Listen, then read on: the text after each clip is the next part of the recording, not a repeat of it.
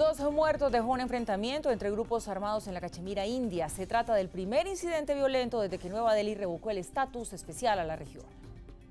Un policía y un presunto terrorista murieron tras un enfrentamiento entre indios y pakistaníes en la línea de control de Cachemira. India confirmó que junto al policía, cuatro oficiales resultaron heridos al abrir fuego contra una organización armada establecida en Pakistán, acusada de haber organizado atentados en Bombay en 2008. Por su parte, Pakistán declaró que tres de sus habitantes murieron por disparos indios cruzando la línea de control.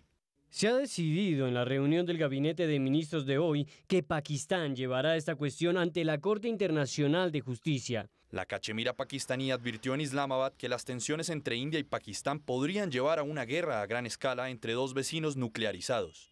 El peligro es que si hay una guerra, no permanecerá confinada.